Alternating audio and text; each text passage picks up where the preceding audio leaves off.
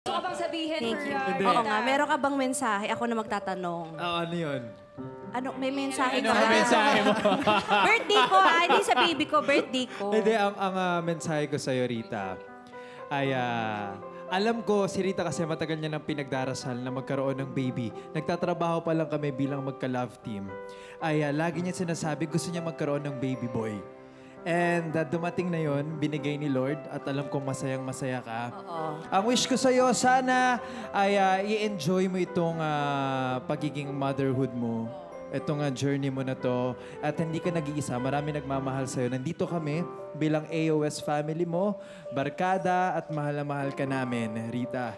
Thank Choy. you. Wow! Congratulations Salamat once naman, again at happy, happy birthday, Rita!